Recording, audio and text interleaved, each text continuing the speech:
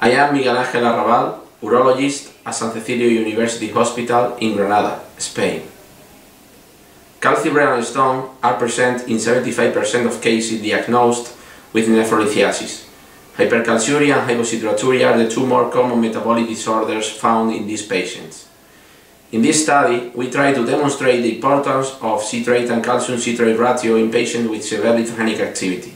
We complete the study analyzing bone metabolism and the relationship between them and citrate and calcium citrate ratio. As our results more significant, we observed lower levels of citrate and more percentage of hypocitraturia in patients with severe lithogenic activity.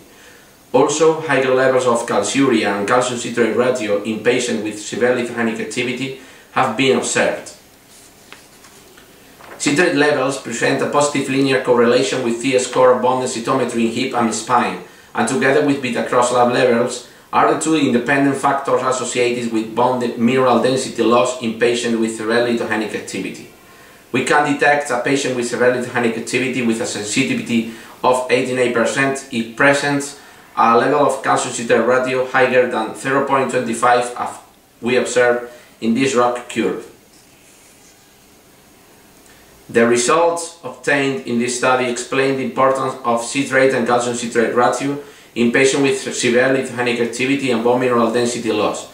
The bone metabolism and citrate levels in urine are very important to study and analyze in patients with recurrent calcium stone to determine the risk of severe lithogenic activity and not only calcium and phosphorus metabolism.